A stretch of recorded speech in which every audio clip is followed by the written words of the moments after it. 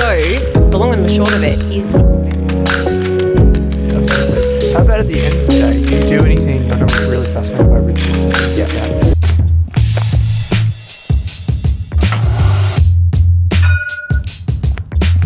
Hi, I'm Owen from Rask Australia. Thanks for tuning in to the Rask Network. Before we get into today's show, there are a few things we have to go over. Firstly, what you're about to hear and see is limited to general information only. It's not personal financial advice like you get from a financial planner. Also, it's important to remember that past performance is not indicative of future performance. That means that anything that's happened in the past, or we say today, is not necessarily going to reflect what happens in the future. Lastly, please consider that any of the guests or myself are featuring on this program may have a financial interest in some of the products or shares mentioned. That's enough from me. I hope you enjoyed today's program. Good evening and welcome to this very special Rask Live. Um, it's actually daytime, my time, because I'm recording this during the day. Because at the time that you might be watching this, like 6 p.m. on a Wednesday night, I might be off at dinner. So I've decided that I might have to record something in advance, as they say in South Australia or over in the Pilbara region. Um, but in, in Melbourne, we say uh, in advance. And in any case, uh, tonight I've got a very, very, very special guest recording with you featuring Dicker Data's David Dicker. And uh, we'll be hearing from him in just a moment. Um, but I know that many of you can't go without this week's joke. So I've got a few slides ready to go for you. So uh, just on this here, uh, Rask Invest is an upcoming webinar uh, for many of you that want to learn more about what Rask Invest is and why I've been working on it for 10 months. You can head to rask.com.au slash invest and you can find out more about what I've been working on for 10 months. In short, basically, there's a new service that we're opening called Rask Invest. Uh, it's a throwback to an old name that we used to have. And um, this is basically something, it's the biggest step in our business today. And basically, it's a, a strategy that you, maybe you think, and let me set the scene for you. Maybe you think, well, hey, Owen, this guy that I've been watching for 18 months seems to know what he's doing. I kind of trust the Rask name and the Rask brand. I should maybe have a look into this. Well, this is something that I would encourage you to have a look at because it's the biggest step we've ever taken with our business. And it's a chance for us to um, help more people invest, whether it's family members, whether it's friends, um, whether it's colleagues who need to invest in the stock market or all markets. Um, and you think, well, maybe I trust the Rask brand and I trust Owen and the team to do the right thing, long term investing, low cost diversification, transparency, all on display. So, Rask Invest is a new service that will have both an app and an online portal for you to invest directly with Rask and directly with me. Um, and it launches in the next few weeks. So head over to rask.com.au. You can register your interest in this button. You can see a screenshot of what the app will look like. Um, and you can go on the list and you can also review uh, our PDS, you know, DPDS, Rask Invest PDS here, as well as the target market determination, which is obviously what everyone should read before um, investing. But uh, and you can learn about what we've been building, why we're using ETFs for the core of our portfolio. And if you register your interest, you can also book. Uh, there will be a limited number of um, opportunities, but um, you can if you register your interest, then you can go on the, the list to have a direct chat with me one on one, because I will be doing some one on one calls uh, as part of the launch of Rask Invest as well. We had 1,100 investors give us their feedback on Rask Invest and what it should and shouldn't be um, and how we should approach it. Um, and I'm super excited that it's going to be launched in the next few weeks. Uh, we'll be doing the webinar, the calls, and already had so many people reach out and um, wish us all the best and say that they're going to invest with us, which is absolutely just amazing. So um, there's a video here at the top of the page as well, which you can click on. I'll give you more information. But otherwise, head to rask.com.au slash invest and be sure to register your interest. That's the best way to stay up to date, um, especially if you're a Rask member. Okay, so uh, if you haven't already figured this out, we go live every Wednesday. Even this one, which is pre-recorded, it is live every Wednesday. So you can um, subscribe whether you're on the Australian Shareholders Association on Rask or on Selfwealth YouTube channel. Oops, pardon me as I hit the mic. Um, you can subscribe and you'll receive notifications that we are going live. Uh, so, for example, here um, you can see there's a big thing that says subscribed, and then it says subscribe. You click that little button and you get the bell. And that means you'll get notifications if you've got the YouTube app on your phone, for example, like I do. Um, we've got nearly 20,000 20, on Rask now. Um, we get about 700 to 1,000 people subscribing every month for free content, podcasts, this sort of stuff. Selfwealth and ASA are growing as well, which is wonderful. So why not subscribe? Okay, here's the sad news that I've got for you this week. My obese parrot died today. Terrible news. Mind you, it's a huge weight off my shoulders. That's my joke for today. So sad news, my obese parrot died today. Mind you, it's a huge weight off my shoulders. Uh, let me know what you think in the comments. I'll probably be in the comments, to be honest, tonight. So um, you can still uh, shoot me a message or give us a score out of 10. Um, remember that um, Rob from Selfwealth is also often in the chat, so you can say good day to him uh, and uh, comment away about the topic that we have tonight. So tonight we've got Dicker Data CEO, uh, Dicker Data Chairman and founder David Dicker. We talk about fast Ferraris, fast cars, and big dividends because many of you will know that this is uh, Dicker Data uh, since it has been listed on the stock exchange, and you can see here it's up four thousand six hundred and seventy percent. So what's that? A is it a 460 bagger? Is that what that is? Or is it a 46 bagger off something? 46 bagger. Um, but what's absolutely incredible about this is that it's managed to do that while also paying out 100% of its profits as dividends. So it pays out 100% of the profit it makes as dividends. So it provides a regular stream of cash flow. Incredible, actually incredible. And so we can see the share price back then was 24 cents. Let's quickly jump into market index. Let's have a look at the latest dividend payment, actually like the dollar value of dividend payment. Now, where are we? Uh, we can see here, so doopy doopy doo. Uh, we can see quarterly dividends. It's paying, it looks like it's paying more than its original share price in dividends every year. So not only is it a multi-bagger, a massive winner for people, it's also paying out more in dividends than the original share price. Absolutely unbelievable company and story. And so this conversation that we have with David tonight is going to be about, there's another slide on this.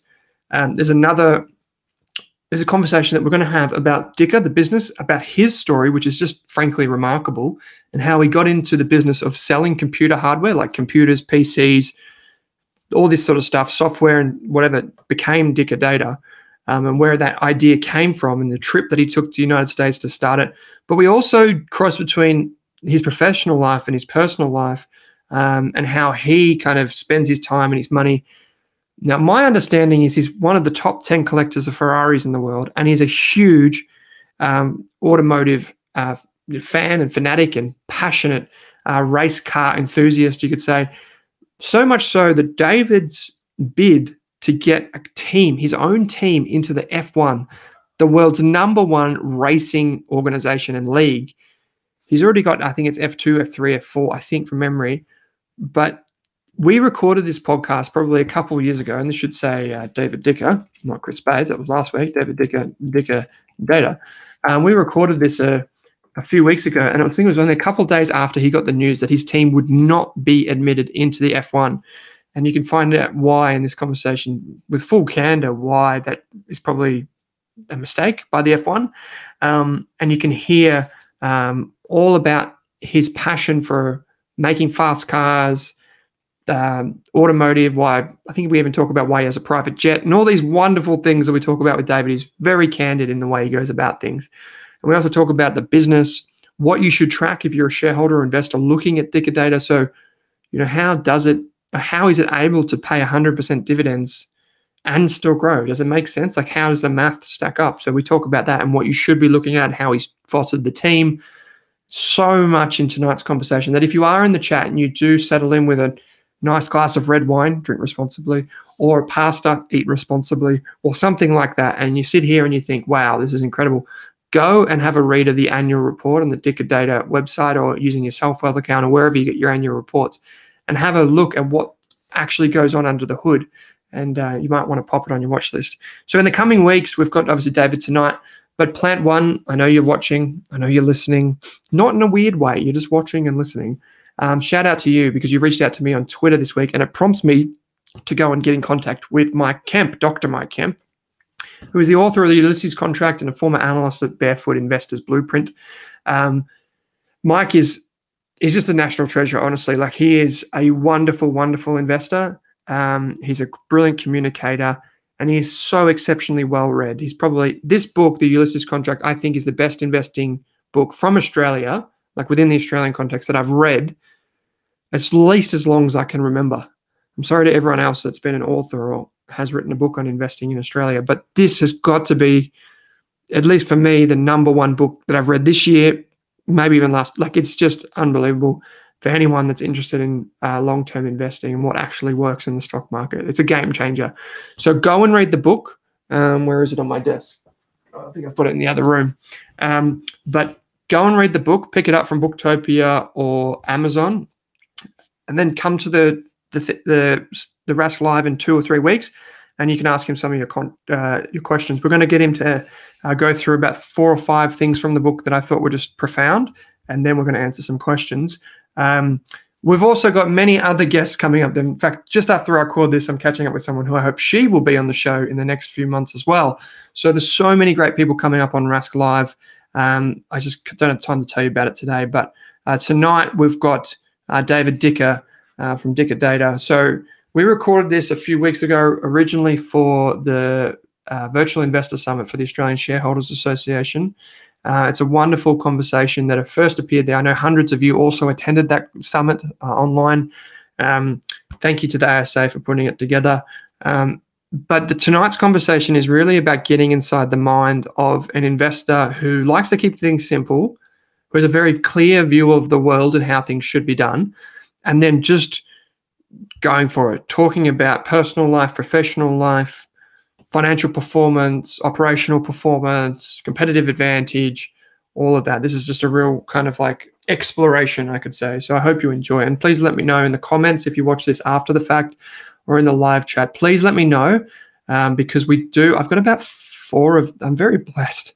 I've got about four of these in the bank, um, or just sitting there ready to go. So if you want to uh, get more of this type of thing in your Rask Live life, um, let me know because there's more to come. All right, without further ado, I'm going to hand it over to myself in the past tense, but future self. I don't know how that works.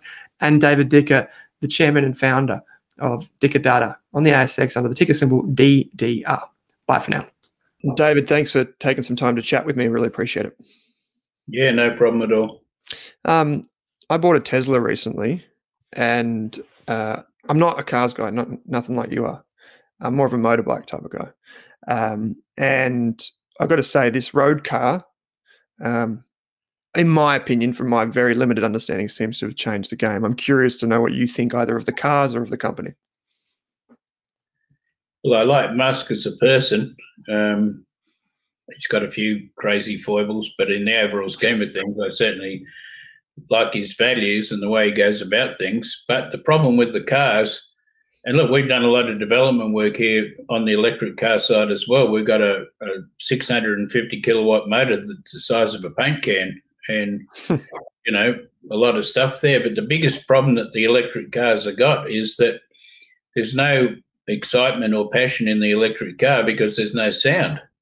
And mm-hmm. look, some of the, the cars, I've got a ton of cars but some of them, my most favourite cars are old Fords with, you know, loud exhausts and not much interior trim and all the other stuff. And and the Ferraris, of course, again, you know, most of the Ferraris have got aftermarket exhausts on them, and they provide a level of entertainment that you're just not going to get in an electric car, and it's a massive issue in mm. that regard. The problem is the electric cars are great as a transportation device.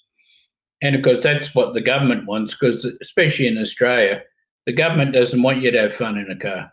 They really don't at all. You know, yeah. they, they they want you to consider a car purely as a transportation device, and the idea you're going to have fun in it's just something they don't want at all. So that's really why I see the issue with it. Um, from a transportation point of view, it's a good solution. The electric motor is vastly simpler than the petrol engine, and um, they're much cheaper to make. They're going to last longer. Blah blah blah. The only real issue, of course, is the batteries, which are a nightmare, and batteries are going to be much more of a nightmare going down the track because everyone's had experience with chemical batteries going back as a kid, mm. and because there's such a strong media push for the electric cars, you don't read a lot of stories about the issues with the batteries because they don't want to talk about it. But but the batteries are not going to um, are not going to last, and they're going to be super expensive. Look, I just give you an example.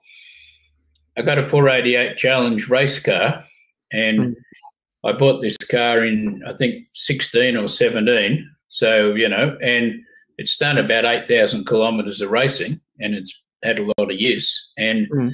It's got a lithium battery on, you know, for the onboard start battery.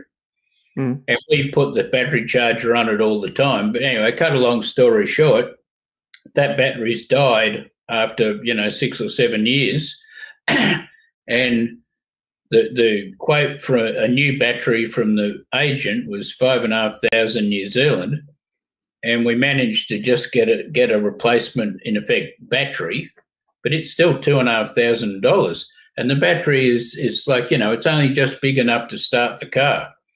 It's mm. like a starting battery, just like in a, in a regular car. So when you scale up to the batteries that you need to run the cars, the costs are just, you know, the costs are just going to be really high. The battery packs are not going to last too long and they're going to be a massive issue and it's going to be a big problem. So the the Tesla community kind of has this view that and in the US in particular that it's about eight years useful life. They guarantee up to 80% of, of like new. And they have reduced the modules and the, the battery packs inside them. But I've often had this question like, what happens with the batteries after, say, you do discard them or you do need a new module? Like in your case, was there any opportunity to reuse that? Or like, how do we solve that as a, a manufacturing industry? Well, obviously, that can only be solved by a very sophisticated recycling operation that involves taking them apart and getting out the the various things, and that's going to be very expensive mm. and difficult, you know, and so, not something that the end user can do. So mm. it, um, you know, look, the real issue is like with all these things, and the older you get, the more obvious it is, is that everything's got a, a political agenda to it, and the electric cars are, are no exception. Like the, and the other thing that you notice about, like say, with climate change talk, is that most of the focus is now on on private cars. Oh, we've got to go to electric cars to save the planet. Well, the private car is about four percent of the emission base, so mm. it's just completely irrelevant. But of course, it's something that's easy to attack.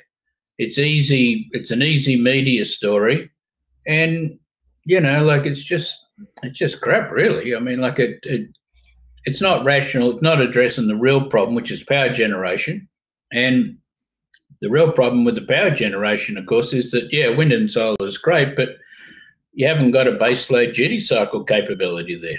And mm. you absolutely have to have that. Now they're going to solve that with what, a shed load of chemical batteries? Like, you know, like if they could find something that was a that was a better chemical battery or a better battery with a completely different technology, of course it'd be world transforming.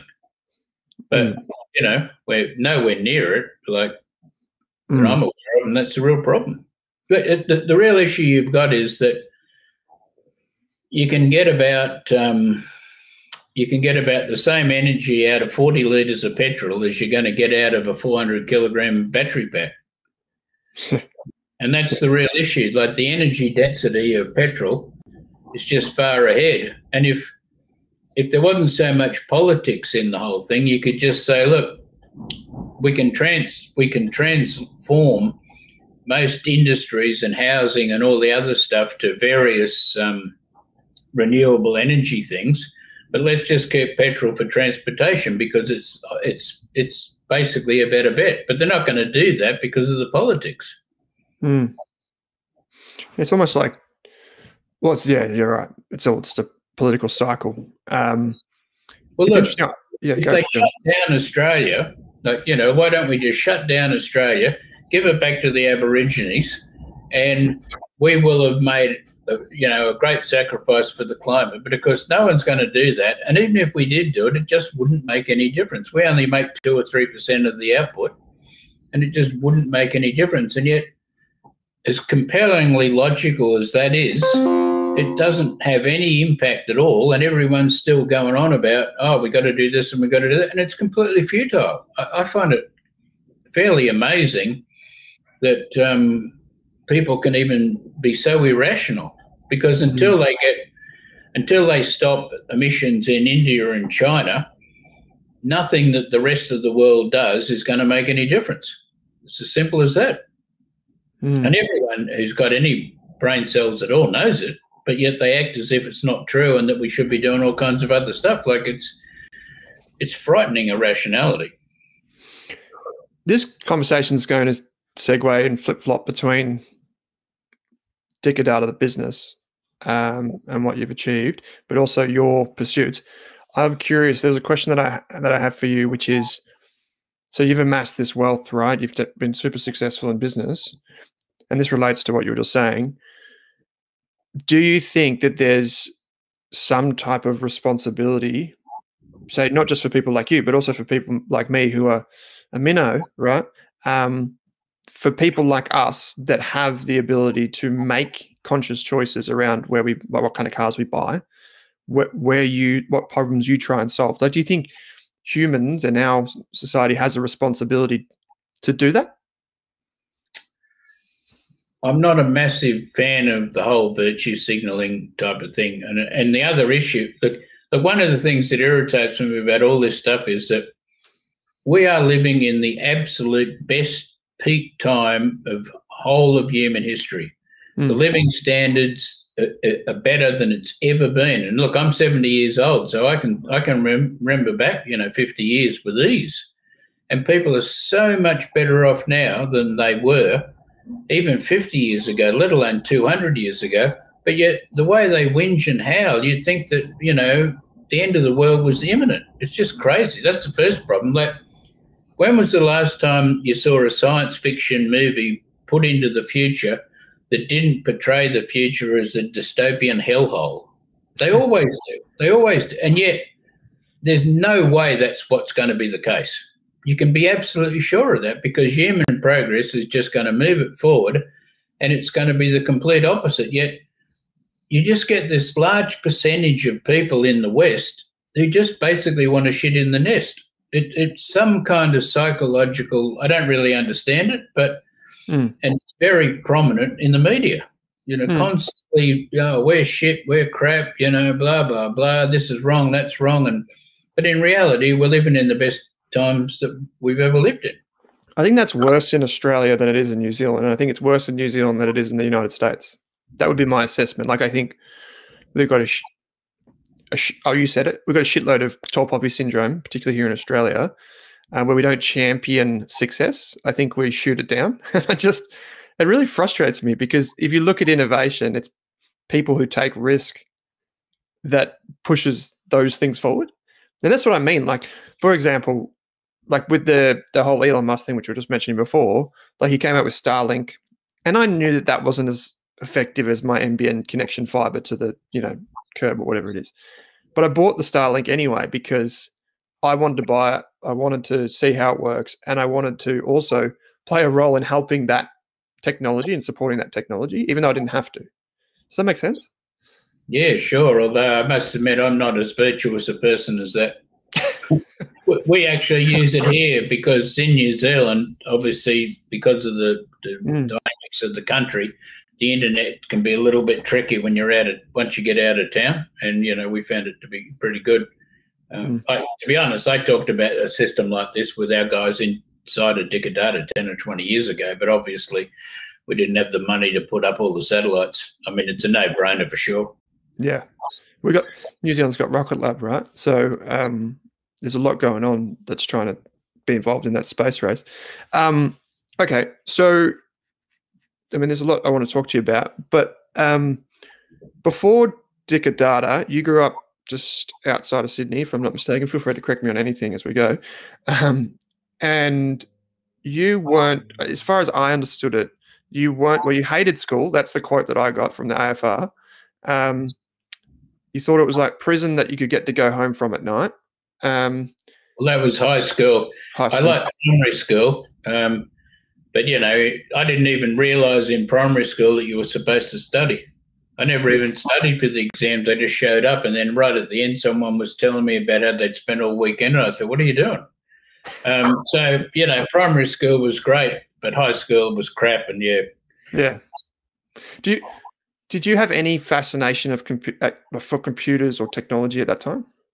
No, I got. Um, I only got into computers completely by accident, and as well, I was never one of these entrepreneur type kids. You know, I was never honestly, I didn't really care about money when I was a kid. Um, mm. uh, I can remember having a part time job when I was probably 10 or 11, putting stuff into mailboxes for two hours every afternoon after school. And it was taking up all the free time I had. And I was getting next to no money probably anyway, so I gave it up. So mm. no, I was never one of these kids that was, you know, the five, 10 year old entrepreneur crap. And mm. I only got into computers because um, I started doing this stuff with my in my father's business, and we could see that um, the, these computers were going to be the way to go. Look, it, look, it was so bad. I wrote this software that had um, mathematics in it, trigonometry, and I had to dredge out all my old high school textbooks and relearn the stuff that I never really learnt when I went there to be able to do it. I know I, I didn't um, the only interest I had in high school was sailing. Right. That's interesting. Um, do you do you sail now? Because I know you're on the plane. Uh, I used to, I, I, I sold my boat. I had it in Sydney, but it was difficult to get over and whatever. So it's yeah. gone. Yeah. And I, I sort of thought about getting another boat, but really, I just the opportunities to use it are so limited that it's not really viable. Yeah. You, you you said in a Forbes interview that you did that you don't really enjoy doing things unless they're very hard, if not impossible, like they're considered impossible. I imagine in the early days with programming, with, with with programming in the early days, it would have been bloody hard. Like today, you've got like all these you know things that do it half for you. Um, but if you weren't that interested and you had to dust off the old textbooks, I imagine that would have been bloody hard. Um, yeah, but uh, one once I got into the computers, computers captured my imagination, and I was it, it, was great. But yeah, programming was completely different. And I had to teach myself. I didn't have anyone to do it. But mm. especially in the early days, so everything was very well documented. And one of the things that you can say in favour of the Americans is that they do document their stuff exceptionally well. So basically, if you can read and you're not a moron, it's pretty easy to teach yourself this stuff. So I did that. But yeah, it was programming at the at the low level, like assembly, you know, the machine code level. Hmm. It, which is for most people, that's something that they'll never even look at. Um, most people don't even understand any of that stuff because the pro the, the, what they call programming now is so far above that that it's just yeah. Crazy stuff. Yeah, it's it's so high level what we do now compared to that. Um, so my understanding is that your old man had a it's like a truss business, like a roof truss style business. Is that correct? Yeah. Yeah. And um, sorry, go on. He started out as a builder after the war. Well, he was he he was a barrister. He didn't like the law, so he started building with his father, and um, they got into making the equipment for making the roof trusses. So we used to stamp out these metal plates and make the machines to, you know, press them yep. together. And that's what we did. And so all those pieces of wood had a certain length and angle to them. And every house is different. And there's only like, you know, 20, 25 trusses in a house. So in the old days, they just sort of lay it out like with a pattern, which is very slow. And we decided to, well, our consulting engineers decided to use these programmable calculators to work it out, and we decided to buy one so that we could um, just keep an eye on what they were doing because you know they were mega buck expensive, and I was going better with than they were. We just took it over, and that's where it went, you know. And then, you know. Hmm, did you, uh, if I'm not mistaken, your man sent you to the US to get some computers and bring them back so you could use them. Is that what happened? And then, what was the story from there with the distribution? I went. You know? Oh, right. Okay.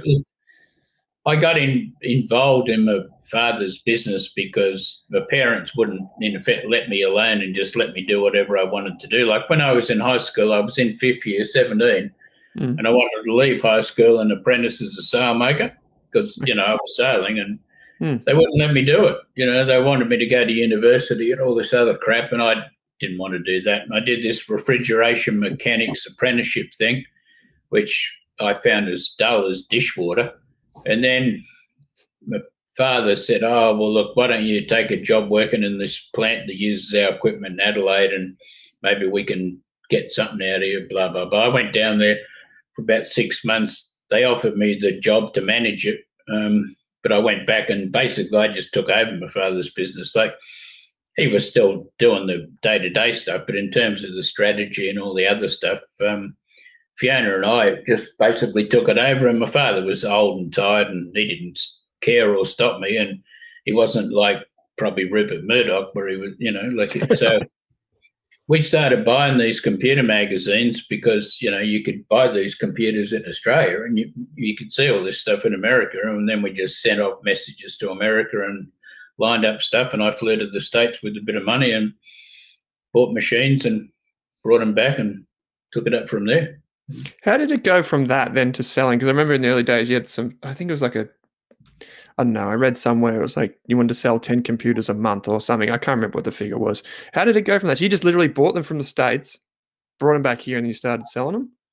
Well, we needed the computers to, for this software that I'd Mm. written for my father's business, but we only had 40 fabricators, so we had a very small customer base. Um, but it was obvious that these microcomputers were going to be a big deal, and it was obvious you were going to be able to sell them. So we we could see that right from the start. I mean, a blind man could have seen that. So we just started to sell them in the in a, as a regular business in effect, and outgrew what I was doing there pretty quickly. And then we just moved out to another building and just took it up from there. you know. Mm. In the early days, you were selling direct, right? You were selling direct to people that would buy the computers, but that changed, right? we sold about we sold about half of the machines to end users directly, and we sold the other half through a dealer channel that we built up pretty Okay. quickly. Yeah, right. And then eventually we we got out of the end user sales after a while. Yeah, yeah. And is that because was there like in the early days, could you see something happening, or was it just like messy because you're dealing with retailers or selling to customers? Like, is this messy? Well, it was different because the end users were almost all technical people that had a very clear understanding of the programming and all the other stuff. So it wasn't much of an issue. And obviously, dealers, well, they just sell to whoever they sell to and they manage it. So we Mm. only had to supply the equipment. So it's all pretty straightforward. Hmm.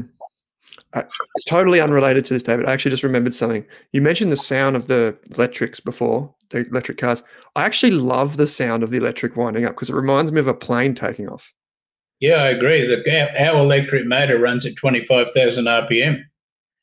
Oh, right. And um, I still think there are some possibilities with it, but um, they haven't been explored to any great extent, and they're going to have to be if you want to get success because the sound part of the of the car is just such an important you know part of it if you're in, interested in it. And I guess the only thing that maybe is in favour of the whole electric car is that it'll completely separate out the enthusiasts from the people who just want to get from A to B. Mm. Um, can you tell us a little bit about Rodin cars for people that aren't familiar, and particularly the the, the type of cars you're making? Um, because I was looking at the specs before, and I was trying to think to myself, I think it was like zero to hundred in. I'm going to guess. I can't remember. It was uh, two point something, and interestingly, it was only like 700 kilos or something. Well, the car that we build's not really a 0 to 100 mile an hour type car. You know, Mm. like it's a car for the track. It's an open wheel car, um, similar to an F1 car. Not quite as quick as a current F1, but not that far behind. And it's it's built for the track. Mm. So, um, Totally but we are, we are building a new car, which will be a two seat closed car and we are going to build both road and track versions of that, and we'll probably build both electric and petrol versions, at least on the road. We'll probably only use the petrol motor for the track, but. Hmm. Hey, so when you, I know that you were thinking of this for a long time. In in fact, I've heard you say it was something like ten years, and then it was only around 2016 or so that you started to take it really seriously. I'm just really interested in this idea of like that's an ambitious target to try and build a car that could get into the F1. Right. First of all, that's people will hear that and be like, well, surely like Red Bull, McLaren, all these people, the organizations are looking at it thinking, how can anyone else do this better than us? Right. So, how, what was like the first step? Like, did you have to get a team? Because if you did, how did you find them? Yeah, we started with a few guys. I mean, I'd done a fair bit of work on the project just myself because I designed the F Zero, you know, from scratch. Um, oh right, I didn't know. I got to a stage where I had enough money that I figured I'd be able to, um, I'd be able to fund it no matter what, which is how you've got to be. You know, you've got to be in a position where whatever you have to do, you can do it. And I was in that position, and so I thought, well, I might as well do it. I'm not getting any younger, and I've always wanted to do it, so hmm. let's do it. And so, like, you obviously you're not day to day involved. That's my understanding with Dicker Data. You're you're CEO and chair, but obviously you've got some wonderful team members, which we'll just talk about in a moment. But um, how did you go and find the people that you would need, the engineers, like just anyone? Like, how did you take those first steps? Oh, well, you advertise and you talk to people, and we recruited guys from the university in Christchurch initially, and we still have a relationship with them, and we know guys there, and you know, you just um, you know, you just cast around, try mm. to, you know, like it's not easy, but did you, you have to steal talent for that? Like take talent from somewhere else? We mostly started with young guys that were mostly graduates or whatever. We we don't have a lot of real experienced guys, which to be honest is probably a mistake. We probably ought to get a few of those. Yeah, because yeah, because obviously the technical things are really important, but also is that that, that real experience. Um, because I, I would I would I would I would guess, David, that those types of people who you want, if you're taking them from somewhere else, would cost millions of dollars. I, I kind of I, I, I no.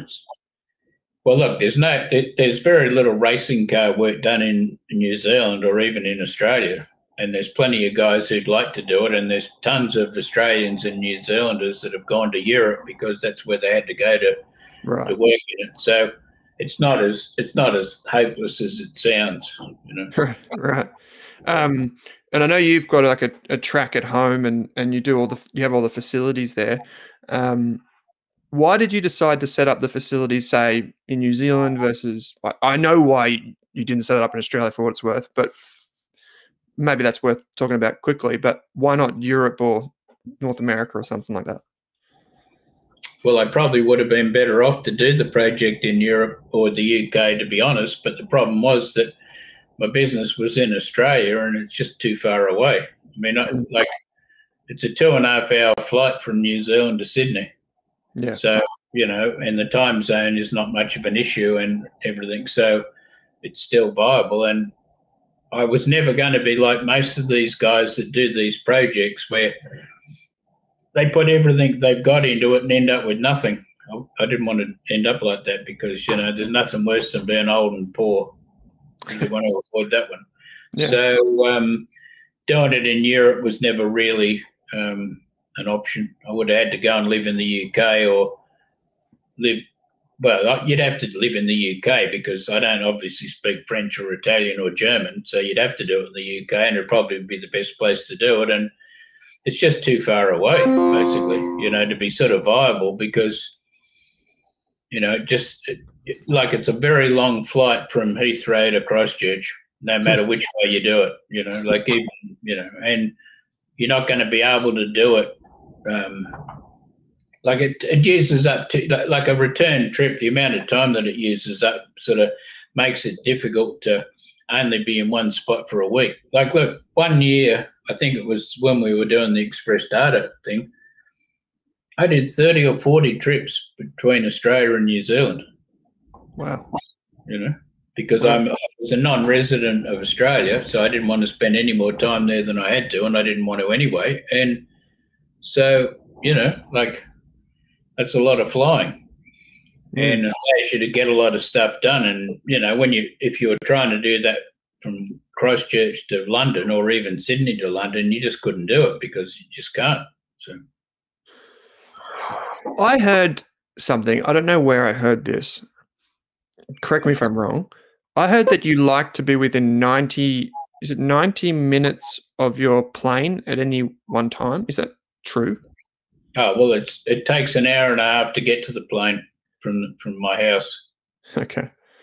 Why did you So- get your own, own plane? Is that just pure flexibility? Like you can just jump on a plane, go wherever you want at any time?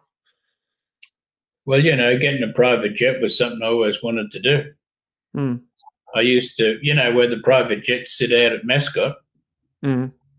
Well, you know, I live down south, so every time I went to the airport, I'd virtually go past them, and you're always looking at it and thinking, you know, this would be great. Not going to be possible, but you know, blah blah blah. And look, the the thing about the private plane is that you've just got a level of flexibility that you're not going to get with the commercial flight. And I was, you know, I was an Emirates flyer, and I was on their IO program, so that's their highest level of whatever and it's absolutely fabulous, but you still don't have the, the flexibility you've got with the private plane. And even though you're flying in first class and it's fantastic, it's still not the same as when you're flying on your own plane. And it's just a vastly better way to go. And look, the the private plane flies higher and faster than even the A380. And so, you know, like I I get from Sydney to Christchurch usually in two hours and twenty. I get from Oh. Christchurch to Sydney in two hours and forty. And of course, the plane just noses up to the to the um, the FBO there at Mascot, and I got a ten meter walk, and I'm in the car, and I'm gone. You know, I show my passport to the customs guy, and that's it. Um, you know, and same on the way out. So you just can't. You know, you just can't beat it for that. The only negative, of course, is the astronomical cost. Yeah, I heard you say that you have to have three pilots for this, uh, basically, or like a pool of pilots, which cost you, I don't know what you said, something huge. Um, but I guess it, once you get to a certain point, right, it's not, which you're at, it's not really that type of trade off, is it? It's more about the how do I want to spend my time rather than how do I want to spend my money. Well, look, you can't justify it in terms of the cost, obviously, but Mm. you know, what's the point in busting your ass and making a ton of money and then dying with all that money in the bank? I mean, that's what my father did. Like my father made money, not not anywhere near what I've done, but he, he because he was brought up in the depression, he just didn't really enjoy spending his money and Hmm. you know, he used to say, "Oh, yeah, but I can buy anything I want." And I'm sure he could, but he never did. Hmm. And I was always telling my parents, I said, "Don't bother leaving me any money; just spend it." But they didn't. He was a prisoner of war, wasn't he? Yeah, he spent three years in Germany. Yeah, well, I guess that would do things too. Like my family's Holocaust survivors. no, I Um, yeah. I, I I talked to my father about the war quite a lot, you know, and um, I don't think he was traumatized by it in any in any way. And but then he wasn't a he wasn't a you know a glory hound either. Like you know, he never went to any Anzac marches or any of that kind of stuff, and you know, he didn't. Hmm. Uh, he didn't. I don't think he was affected positively or negatively. Really, well, probably more positive than negative. I don't think he was traumatized uh, at all. Mm. Um, yeah, right. So, more of a personal question then. Did, in those days than they are now. yeah, did, it, did did that affect you then? Not like you're seeing him amass wealth from business and not spend it. Do you think you overcompensated or have in any way? Like, I'm sure my parents would. I'm sure they'd say that. It's, it's a shame to me that I'm not able to go around there and pitch them up because I know it'd burn um, Look, in 1980, just to give you an idea what they were like, um, Mhm. in 1980, I bought a Corvette. It was secondhand um, thing, and um, we had a van for the business, which we used to go to and from the business. Corvette was just a fun car, but Ford had decided to build a car that was a bit like a throwback to the Falcon GT in 1980 called the um, ESP. And I'd ordered one of these cars, oh, way back, cross nose. Um, anyway, I get a call from the Ford dealer one day saying, "Oh, you remember that Ford? You, no, well, do you still want it?" And I said, "Oh, yeah." I guess. Anyway, I bought it, and my parents just totally flipped out. I remember my mother saying, "You can't have two cars." Like, like my parents had a car each, and that was, you know, like, yeah. So I don't know what they'd make of it now. They'd just be totally, you know. did you know that you were going to be wealthy, like from a young age? Like, did you? Because it seems like, like what you said before, is you didn't know no, you want to get into computers no. and all that. So, no, yeah. not at all. And look, I for years, um, you know, money was always a limiting factor. Like always, you know, like it's sort of. I can I can still remember things like um, okay, I was only a kid, but in 1970, my father bought this Falcon that we sort of shared. And I remember he paid, I think, 3,300 bucks for it. And the Falcon GT was about 4,200. Mm. And the gap from that 3 3 to the 4 2 was like insurmountable. You thought, God, we could never, just couldn't, you know. Um, and, you know, later on, uh, look, it's, it's only in the last sort of, uh, I don't know, 10, years or so that I've really had, you know, in effect, tons of money. Mm. And I never had any real ambition to get a lot of money either. Like I said, I wasn't one of these child entrepreneur guys, and I wasn't really driven to get money. And in the business, we try to run it the way you should run it, but the money is a byproduct. It's not. A, it's not the aim. Mm.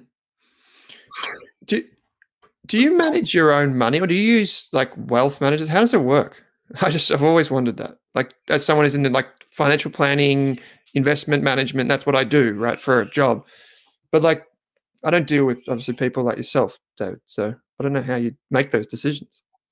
I don't. Uh, well, I haven't had to worry about it for the last five years because all the spare money's gone into Rodin cars. So yeah, there hasn't been anything left over. But I used to trade the US stock market and I started yeah. on in '97, and I did that up to 2013, and especially for the first probably 10 years or so, I traded the markets every night and sat, you know, sitting in front of a computer. Then I ran software to do it, wrote software to do it with computers.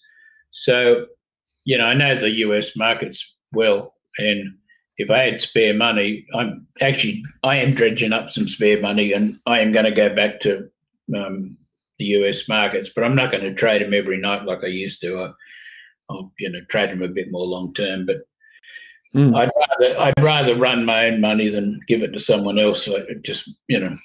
Yeah, yeah. Um, that was actually an interesting thing that I heard, and I can't remember the number.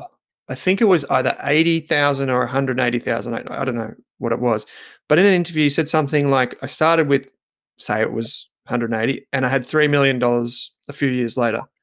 And then you I think I'm just going off what memory here. Your old man said, How did you do it? And you just said you buy things that go up and you sell things that go down. Yeah, that's all basically right. It was 180 grand. It took a year or two to run it up to nearly three million. Um, I lost probably half of that or so in the dot com crash, but I still came out way out in front. And yeah, look, basically, yeah, it goes up and you buy it, and if it's going down, you know. I mean, so you've got to remember that markets in general go up most of the time.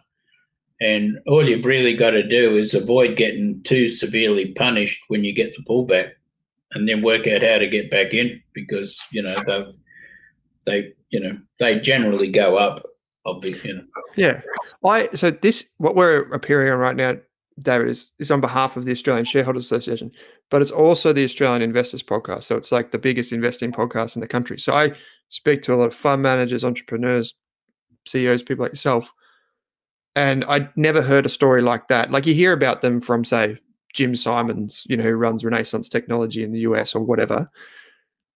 But I'd like to double click on this if I may, because this would be like very interesting to the audience.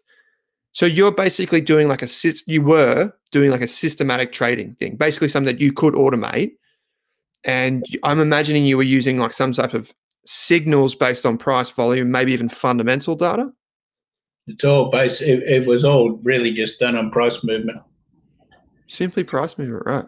And would your holding periods be like days, measured in days, hours, weeks, months? Like how short term is this? it was a day trading thing. So basically, you try to be in cash at the end of the day. Yeah, right. Did you learn any of this from someone, or like, did you study this in any way? No, it was another one of those self-taught things. I'm afraid. I read quite a lot of books on trading, but not so much books on how to trade, but books with interviews of guys who have who have traded successfully. But like I said, it's just not that complicated. I mean, you know, it starts to move up. And you and look, in the period I traded, although it's not, it's not really any different, but in that period, you know, the market was incredibly volatile, and it, it's it moves around a lot. And you trade shares. I, I traded mostly tech stocks, obviously, because I was a computer guy, mm. and you know they move a lot. And all you really got to do is you know get in there and and um, you know it's not really that difficult. I, I don't think. I feel like so a lot of the things. Sorry. With, the problem you've got with the share market is that the fund managers and all these other guys, they need to try to make themselves look like some kind of guru so they can attract money. And the and the fact is, most of them can't beat the index. That, that's the reality. And they spend all this time, you know, analyzing stocks and looking for this and looking for that.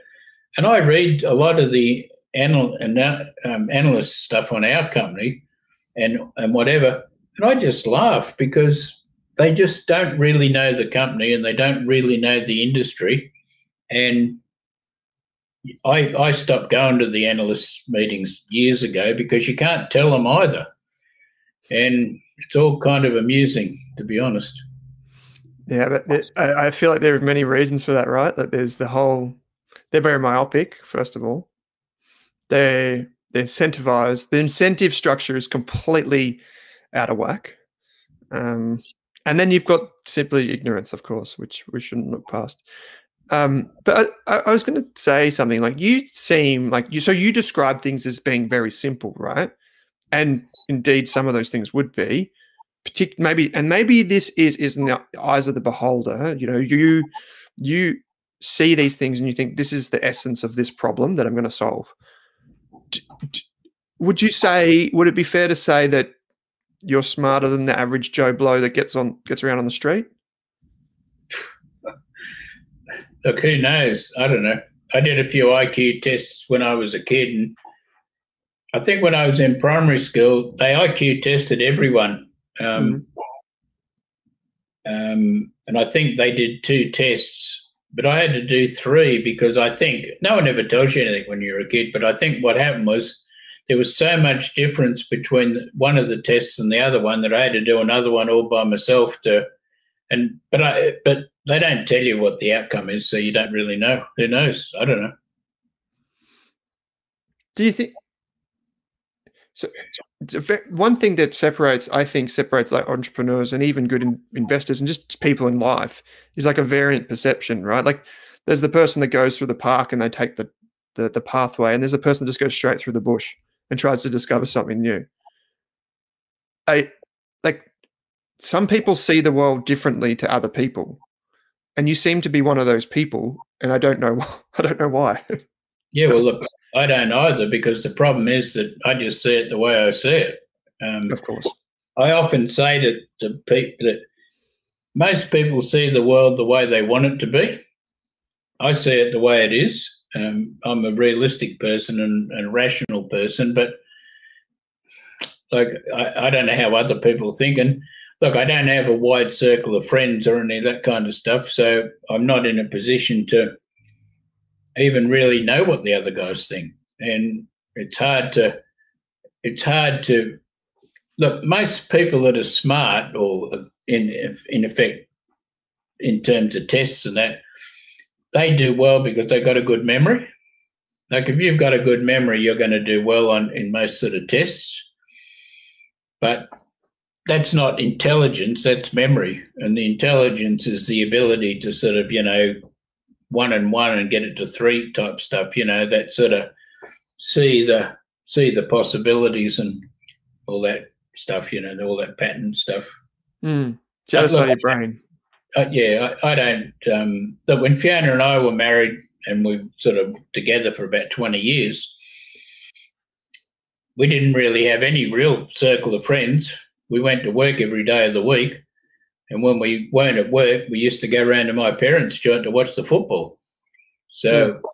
you weren't exposed to um, a lot of stuff, and you know, I don't go to cocktail parties with people and, you know, chat about stuff because I just don't do that kind of thing. So I really haven't got a clue, to be honest.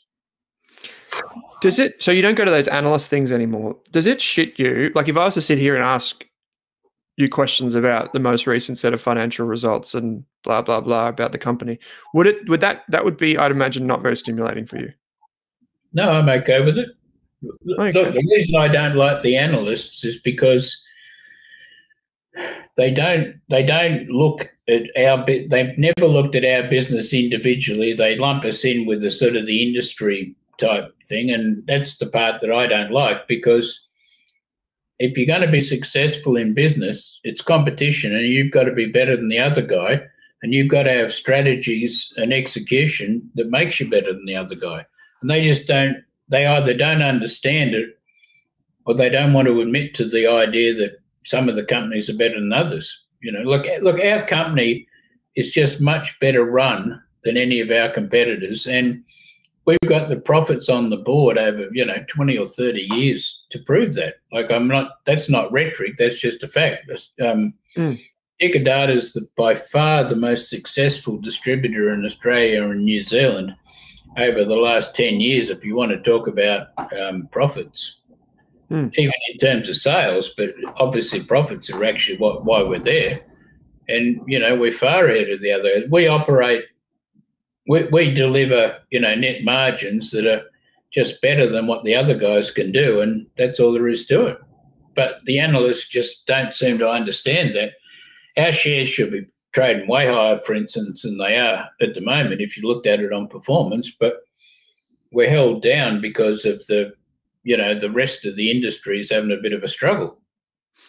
Um, so you're you thinking you're thinking that people put Dicker data, they put that in the same bucket of research as they put technology one or insert name of other technology company, and they go one has wide margins, one has slim margins, one has debt, one doesn't have debt. I don't know what technology one has by the way. I'm just guessing, but like that's what they do, and then they go this one not good, that one better type thing. No, they just sort of they don't give you any credit for being better than the industry. They just say, well, this is the industry. But the industry profit margin is one to one and a half percent, and we did two and a half to three percent. That, mm. That's basically it. And but we don't get rewarded for that extra. Look, I'll give you an example.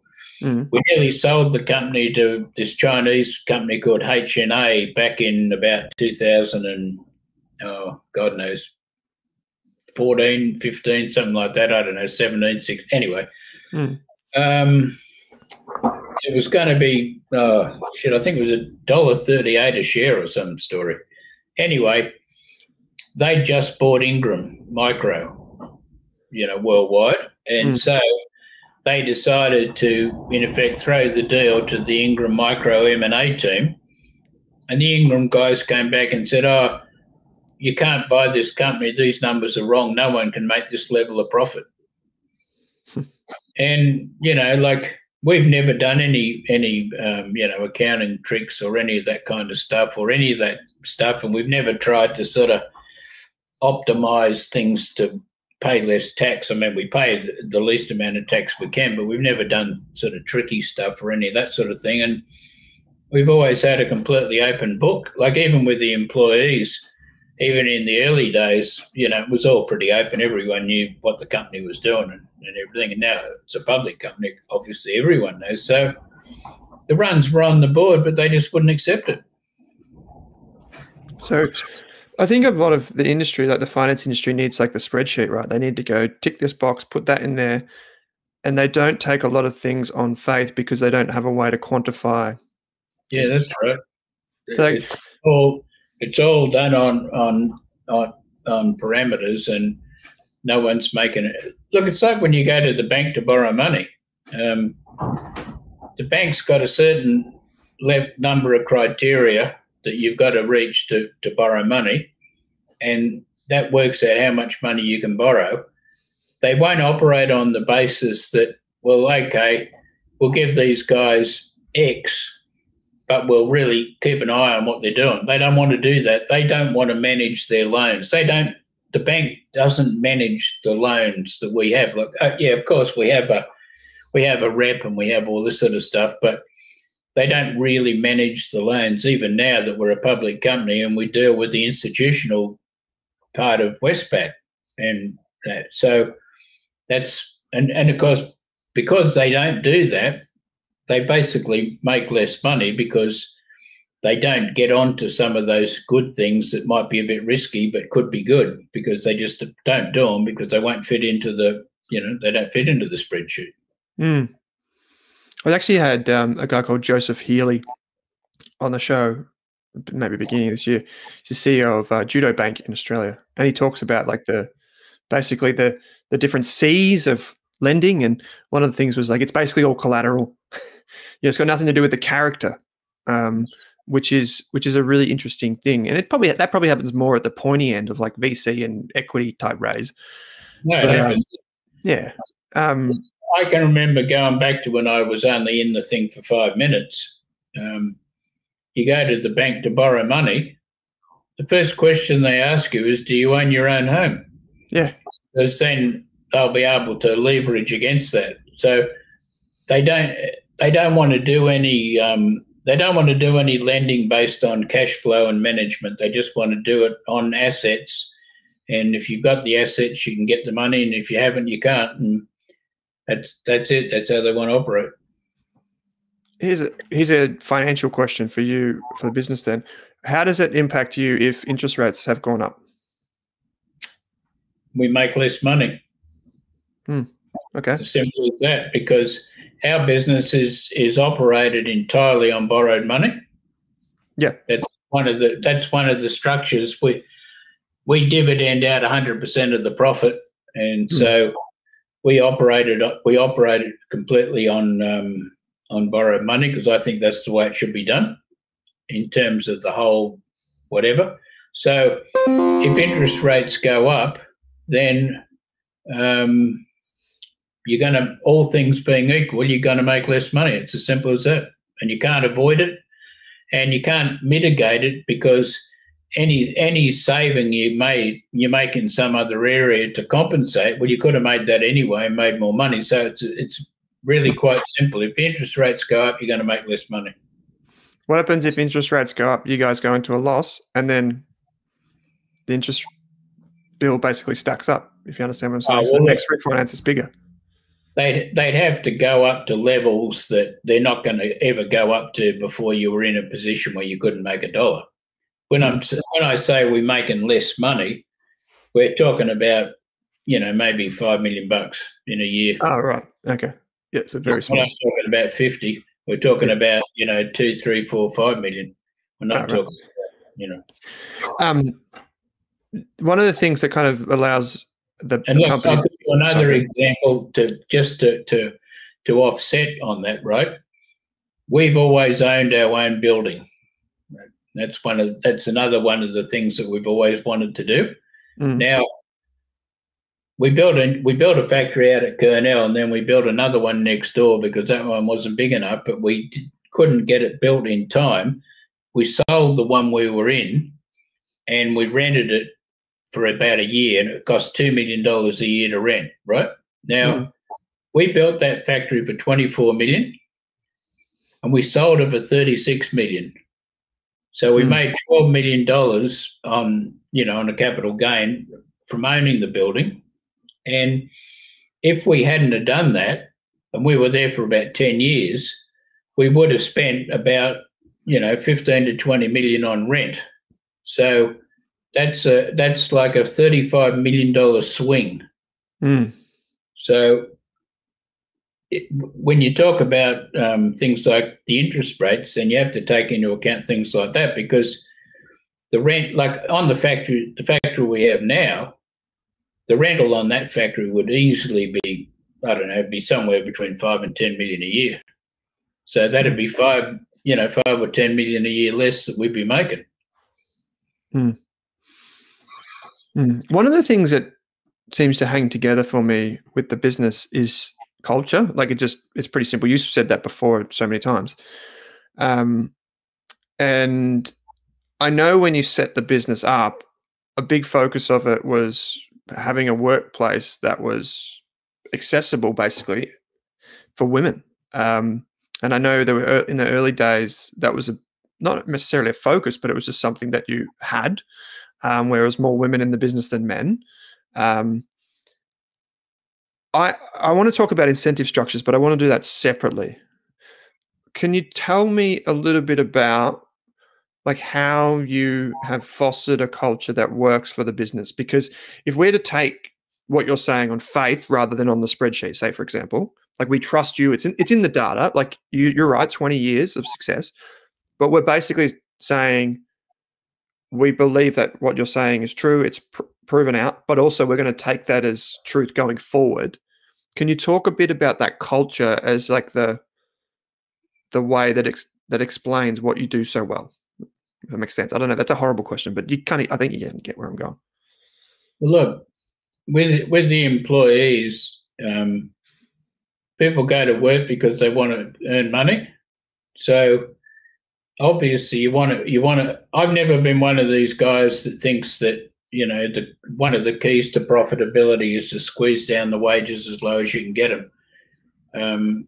i hmm. wouldn't like to be treated that way and i just don't think it, it works well i think that basically if you pay people more money than they they basically get elsewhere they're going to work harder and they're going to be committed and they're going to just be more interested and the net result is they're going to perform better.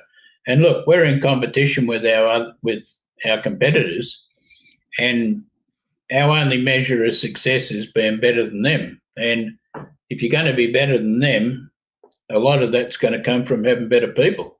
It's pretty obvious really. So you hmm. you pay people more money you treat them better and you know you you give them sort of other sort of benefits. So the, the reason we started, well, look, I was married to Fiona, so there was just the two of us at, in the beginning, and she was a fantastic performer, you know. And look, even when I went back, I go back to primary school. Um, my, you know, out of the top ten smartest kids in the class, I think eight of them were seven or eight of them were girls. So I never had that sort of um, you know women are stupid attitude or any of that kind of kind of thing right from when I was a kid, and we offered this sort of nine to three type of um, working environment for you know mothers who were wanted to return to the workforce, and obviously it worked really well. Fiona could sort of pick up the slack before and after, and you know it just worked well. So you know, we were giving people an appealing situation and they depreciated it and we were paying them well and, you know, whatever. And, and look, Fiona especially was very good at um, making that sort of internal culture where everyone's treated well and it's sort of, you know, you have functions and, you know, all the other sort of stuff. And it's sort of, it's not like it's a grim Charles Dickens type of working environment. You know what I mean? Yeah, I know what you mean so people can enjoy it and you know they spend a lot of time at work so you want to try to make it pleasant. Nowadays you have the um, i would say it's quite unique in that you have effectively a profit share with based on profit margins and profitability which makes a whole heap of sense when you think about how simple that is and how aligned that is for people. But you pay well like your executives get paid good cash bonuses, which is interesting, right? Because if you listen to like the Buffetts and all those of the world, they're like long term incentives and X, Y, Z, and blah blah blah. They do have a lot of skin in the game, and you've you've promoted a lot of those people internally. Um, is like is, is that is that something that other companies of your size get wrong? Like they they they don't promote internally. They don't share the spoils of what we know moves the dial, which is money. Well, look, look, the other guys just have much more rigid structures, and all our competitors are foreign multinationals. So all their structures are set offshore out of Australia, and so they don't have any kind of local sort of feel to them. And look, the guys running all those companies are mostly Americans or American educated MBA guys, and so of course they tell you all kinds of stuff and blah blah blah. But you know, look, I, I I try to be a rational thinker and just think a problem through and get what I think is the right answer. And the reality is is that if you want to incentivize people, in general, there's only two ways to do it. You either they either get to work less hours. That does work at the low end, but at the higher end, they get more money. And it's, it's not even complicated, but I mean, who's going to bust their ass for nothing? I mean, I, I, I'm not going to ask someone to do that. Like, you know, I've, I feel that you should pay people well and then you can push them.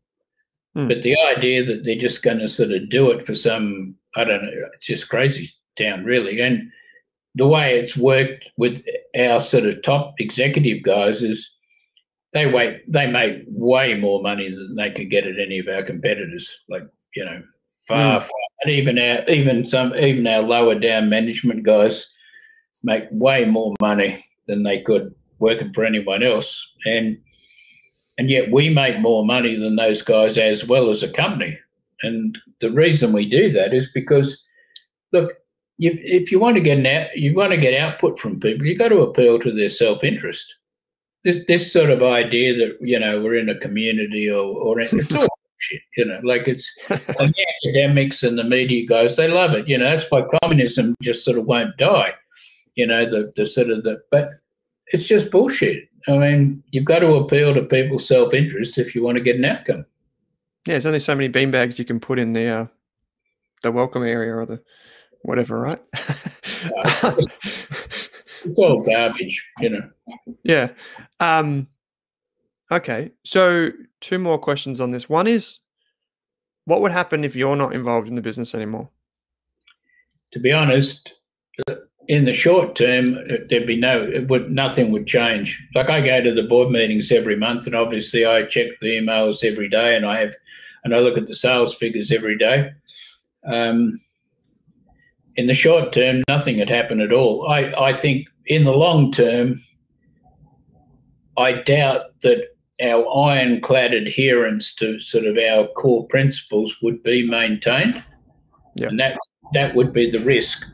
But if they if they were maintained, then there'd be no issue. But I'd see that as the only only problem because look, it's very easy to say, oh, we need to change this or we need to change that or we can't do this or we can't do that. And it's not easy to just say, no, we're, we're doing it. Look, I'll give you a good example and probably told you this story before because I've told it a thousand times. I had this Chris Price guy working for me as a sales director. We were doing the uh, Express Data deal. And before we started to do the, before we basically pressed the button to go ahead and do the Express Data deal, I said to him and Mary, she's my CFO, yeah. I said, I want um, what was it? I want 25 million in profit. It's either 25 or 30. I want um, 10 times inventory turns, and I want 5 million sales per head. And if you can, if you, I think it was 30 million profit. Um, and I said, if you guys are committed and you're going to deliver that, then we'll do it. But if you don't think we can do it, let's, we're just not going to do it. So they, they were real keen to do it. So we did it. And we're in there and we're doing the integration. And Price brings me up on a Sunday night and says, Oh, I've got to talk to you tomorrow, blah, blah, blah, blah, blah. Yeah, okay. So he comes in the next day and says, Oh, we can't do 30 million, we can only do 25. And I just said to him, Well, I'm just, that's just no good. I'm just not going to accept it. Like, you know, sheet of paper and all this. And I just pushed it back and said, No, that's no good. Hmm. So he pulled out a paper from his bag to resign. So he resigned on the spot. and I got him to call Vlad up, who was um, an internal, one of our internal sales guys, and I'd, he'd been there I think for five years. I'd only, you know, I used to say hello to Vlad a few, every now and then. You know what I mean? Hmm. And I said I offered the job to Vlad. Vlad took it up, and Vlad has proved to be a much better performer than Chris was, and we've even hired Price back to run a part of the business. But in that situation, most people would have caved and just said, "Oh, oh, okay," you know. And then when you do that on the important things, you just put yourself into a position where you're going to be screwed and you're not going to be able to get out of the hole. It's like the two and a half percent margin. Like everyone knows that the two and a half percent is non-negotiable. That we're not going to do it if we can't get that number, and that's all there is to it. And we're not going to change that. And I don't care what anyone says because that's a fair number that ought to be achievable. And if you can't achieve it, well, there's something wrong. Mm. Oh, yeah, that's a great. I haven't actually heard you say that. Maybe I've, maybe I have, but I can't. That's a. As someone who runs a business, I can appreciate that, and it's a slippery slope, isn't it? You kind of just start to fall off the side of that curve, and by the time you know it, you've got one percent margins or whatever the Yeah, competitors you have. can't get back. That's the real issue. You can't get back. You know, like it's look.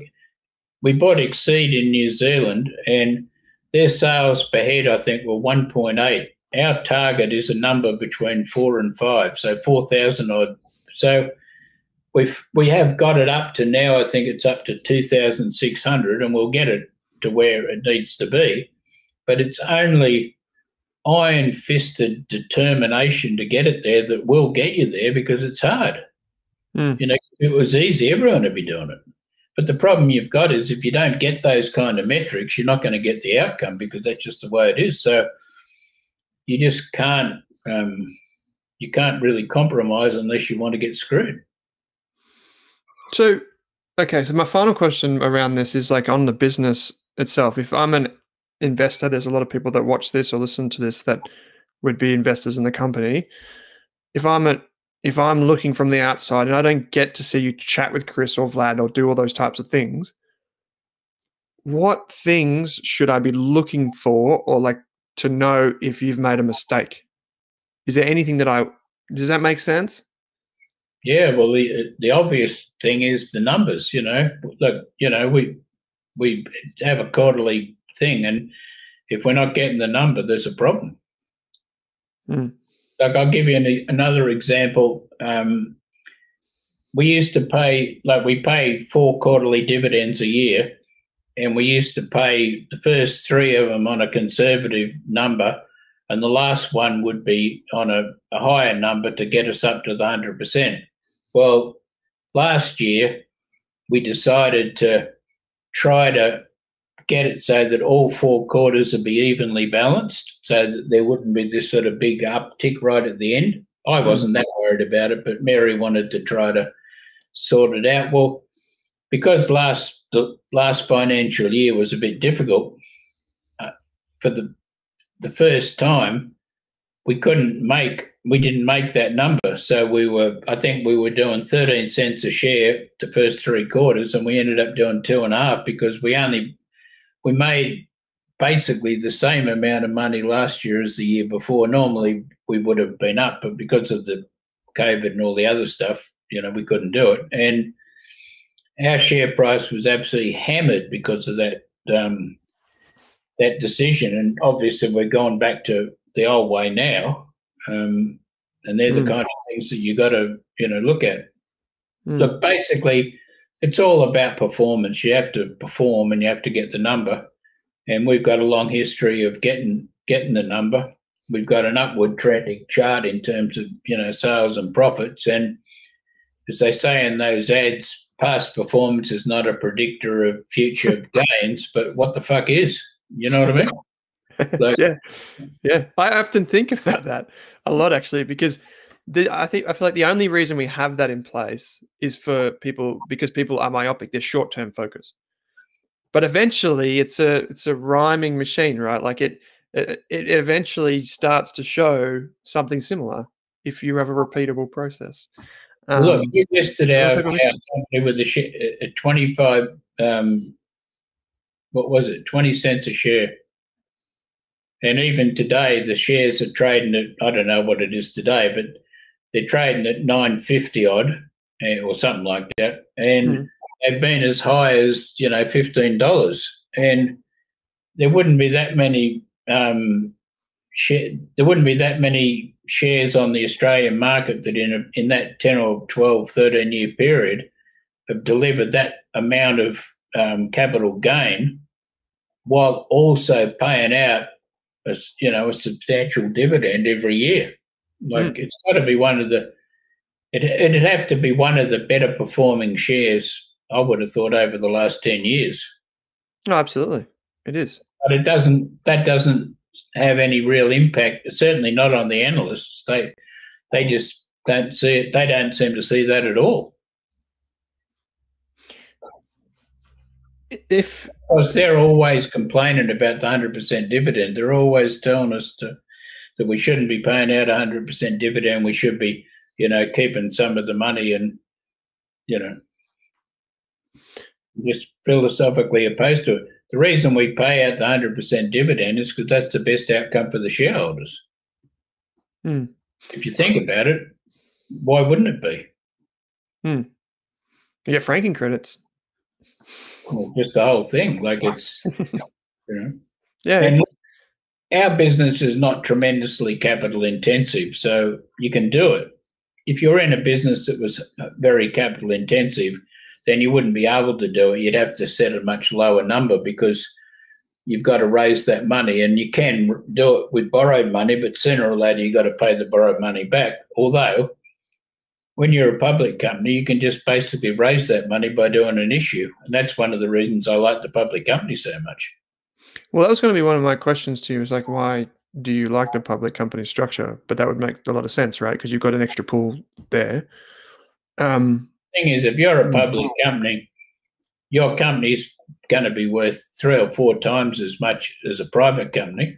Mm. It's much more liquid. That valuation is a lot more certain as well. But the other real advantage is that you can issue shares. It's free money.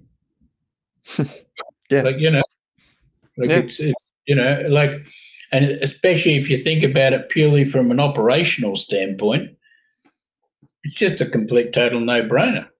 You know, mm.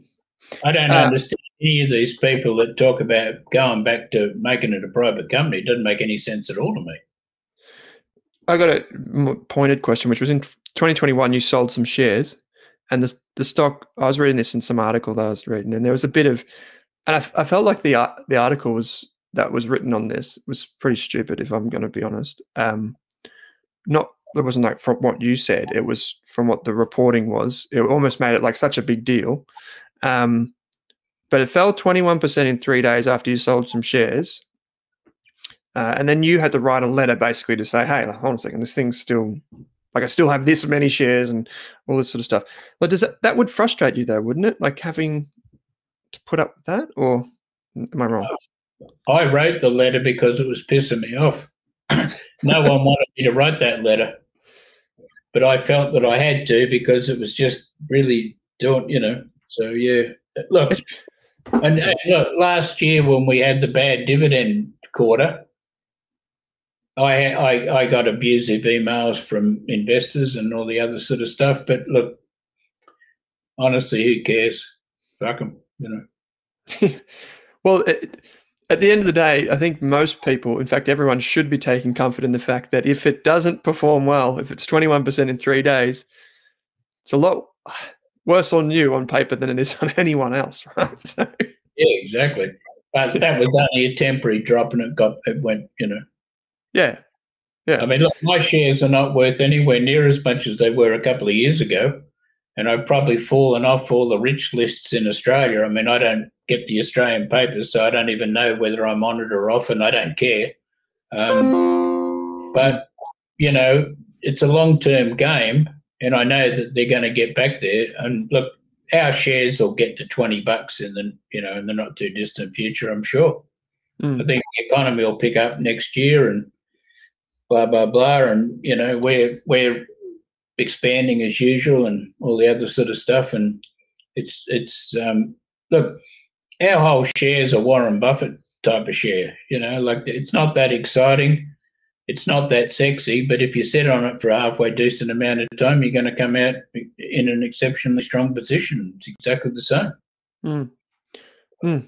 Um, so I just got a couple more questions, and then I mean I could talk all day. Uh, but I guess back to the cars and to Rodin cars.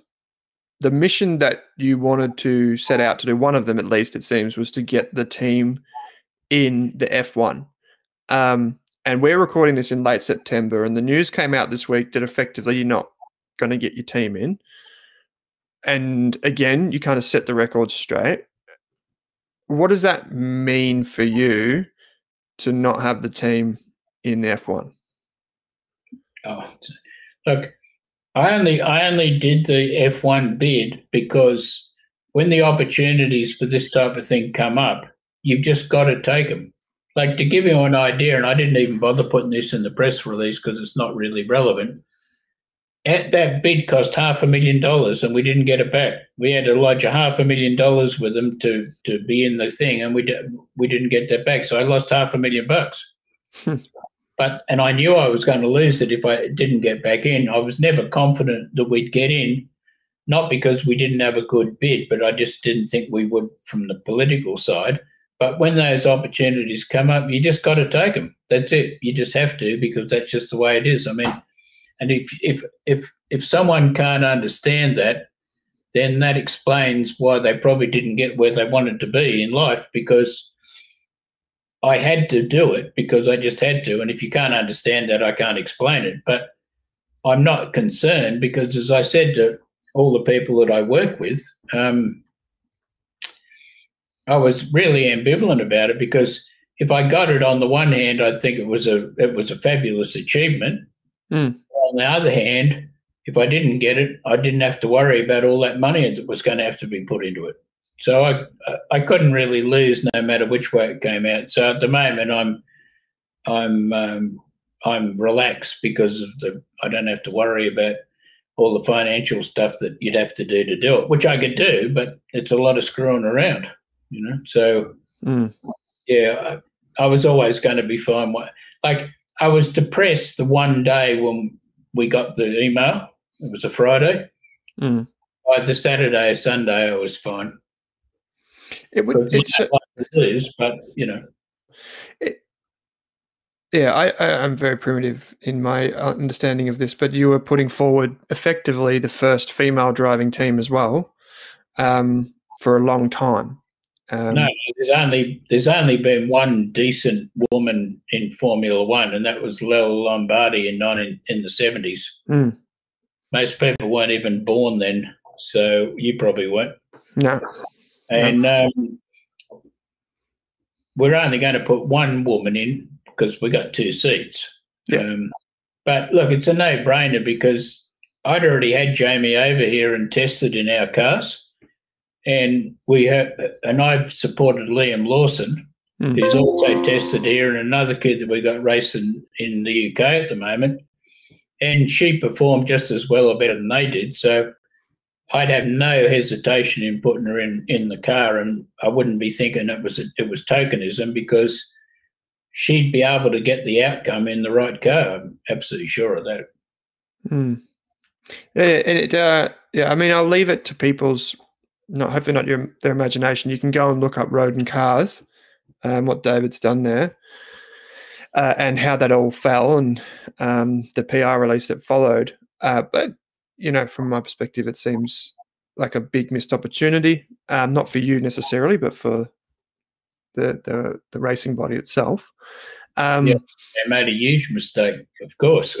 yeah, yeah, but for more reasons than just self interest, right? So, yeah, uh, look, look, look, they they well look i lay it out in the press release i don't know if you've seen it but yeah um, i've got it in front of me you know we we we provide an, a, a, geographic diversity like they call it a world championship they don't have a single team from the southern hemisphere and they're going to put andretti in americans have won two world championships mario andretti and phil hill australia and new zealand have got five Alan Jones, Denny Hulme, and Jack Brabham won it three times. And mm. as well, the McLaren team was started by a New Zealander. So we've got a heritage down here that, that really should demand that we have a team down here if you're going to talk about all that geographic stuff. And let's face it, outside of um, Sauber and Toro Rosso and Ferrari, all the other teams are, are, UK teams. So seven out of the 10 teams are UK teams, and Andretti's going to be based in the UK as well. So mm. your argument that it's a world championship could be, you know, challenged at least. Mm. Um, true or false? Are you the world's fifth largest owner of Ferraris? I wouldn't have a clue. Uh, I've got a lot of Ferraris, but uh, I think the only the only claim I'd have on the Ferrari front that would probably hold up is that I'm probably the only owner who's got a decent number of cars who's still got every car he bought new. but that only goes back to 2000 and well, it goes back to 95, 96, but it really goes back to 2010. So there might be someone somewhere, but I think that'd probably be a fair thing. Mm. Mm. Cool. Well, um, this has been wonderful to chat to you properly. We've chatted once before, but it was brief. Um, hopefully, get to do it in person one day. Uh, if you do decide to start resume uh, to resume trading the U.S. equity markets and you achieve returns like you did before, can you please just send us all a, a message and say here's the opportunity to be part of it? Because, uh, mate, I got to say that's. Uh, that's uh, that's something special. I know that's not on your radar, but uh, if you are ever doing that, uh, let the rest of the world know because it uh, it would be a great thing. But people, I, am not looking to get those kind of returns, but you got to remember you got two to one leverage in the US market, so that doubles your return straight away. Mm. True. So, True. You know. Um, people who are watching this or listening to this please go and check out the business Dicker data. It's on the ASX under the ticker symbol DDR. Um, heaps of disclosure in the quarterlies, uh, or, sorry, the half yearlies, the annual reports. Um, take an opportunity to look at a business that is dominating its industry. If you're looking for one, this is one that you should be watching. Um, and I hope this cleared up a lot of the the kind of mystery around how the business is such a success. I know there's a lot of secret sauce, but this hopefully did some justice. So, David, I really do just appreciate you, mate, taking the time to to join me on your